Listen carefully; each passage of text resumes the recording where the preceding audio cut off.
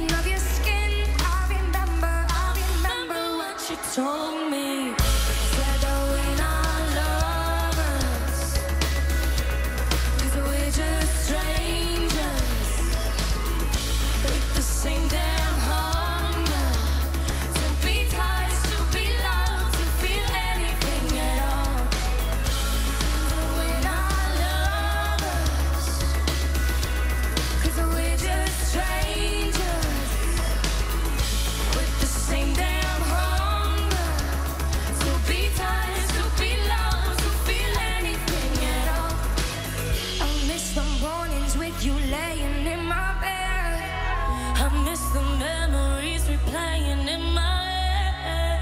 I miss the thought of a forever you and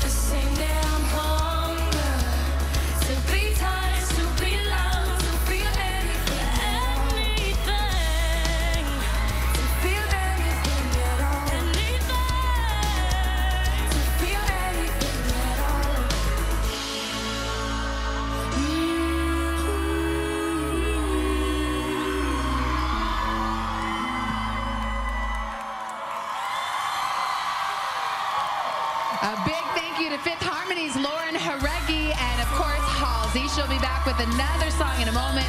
But first, this is today on NBC.